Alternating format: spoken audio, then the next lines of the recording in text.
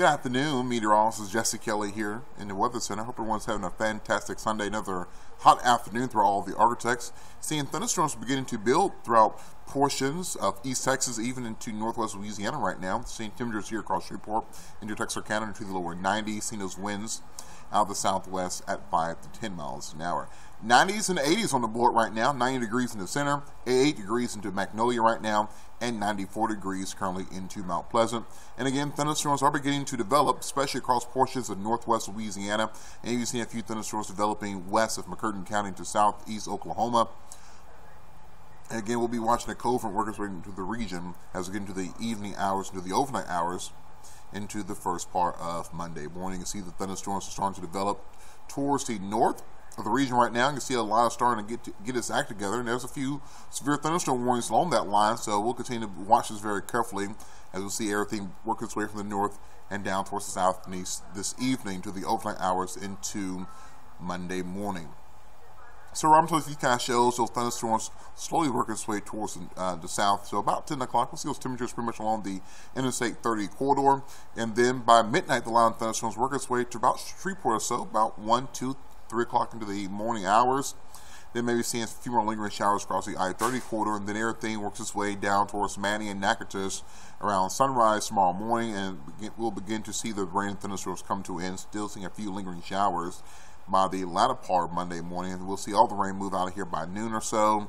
It'll be a very cloudy uh, first part of the afternoon. Then we'll continue to see those clouds on the decrease by the evening hours as we see those temperatures by Tuesday morning falling down to the 50s. So looking at a very beautiful afternoon for your Tuesday. Lots of sunshine. Temperatures not too bad, only to the 70s as we see those winds out of the northeast at 5 to 10 miles an hour. Now rainfall amounts between now into Tuesday some areas could see amounts anywhere between a half an inch to an inch of rain. Could see some higher totals than that, but again, we do need rain here into the ArkLaTex. So that is opportunity of rain tonight into Monday, and then we'll see more thunderstorms as we get into uh, Thursday night into your Friday. So by 7 o'clock, we'll see temperatures into the 50s and 60s, 50s on the Interstate 30 corridor.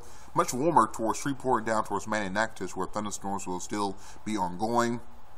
About the afternoon, again, we'll see those temperatures into the 70s been by 2 o'clock, excuse me, by 7 o'clock on Tuesday morning. Temperatures not too bad, feeling very comfortable, cool and crisp. We'll see temperatures by 7 a.m. to the lower to middle 50s. That feels a-okay to me. And then by Tuesday afternoon, we'll see plenty of sunshine with temperatures going right back up into the 70s, rebounding into the 80s as we get into Wednesday. But again, looking simply a-okay. Lots of sunshine and finally feeling like fall here into the ArkLaTex. But for tomorrow, though, we'll see a temperature around 74 degrees. Thunderstorms are likely into the morning hours, giving way to clearing skies late. Seals winds out of the north at 10 to 15 miles an hour. Next seven days shows temperatures into the 70s for Tuesday.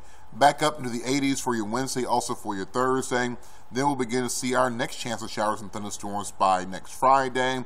And again, some thunderstorms maybe on strong side. We'll keep our eyes out for that. That will drop temperatures down to the 40s and 50s by next weekend, with daytime highs by then back into the 60s and 70s. So over the next seven days, looks as if right now we are done with the 90s.